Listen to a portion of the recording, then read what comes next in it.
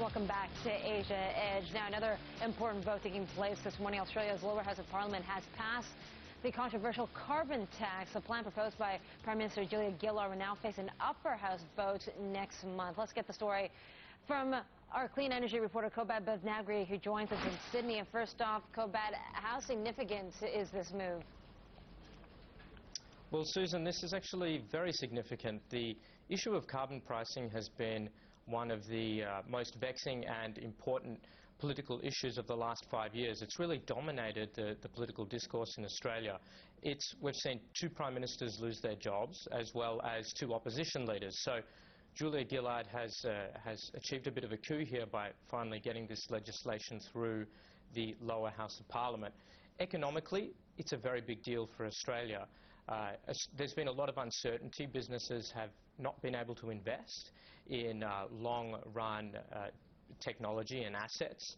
And so carbon pricing uh, should give them the framework to be able to have some certainty there.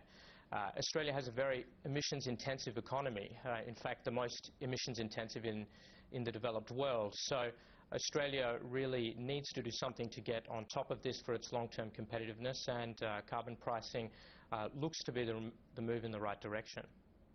Okay, so this vote passes through the lower house. What about now up to the upper house? Does it uh, have enough legs to get passage as well?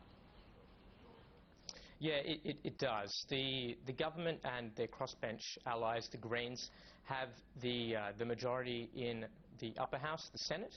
So the legislation is expected to pass without incident there, really, in November. Once that happens, it'll be ratified into law, and the carbon pricing scheme will start on the 1st of July next year with a fixed price of $23. Uh, it'll, it'll have a fixed price for three dollar, uh, for three years and escalate uh, with inflation and and 2.5% uh, above that. And in 2015, then the scheme moves to a floating price, an emissions trading scheme where the market decides what the price of carbon will be.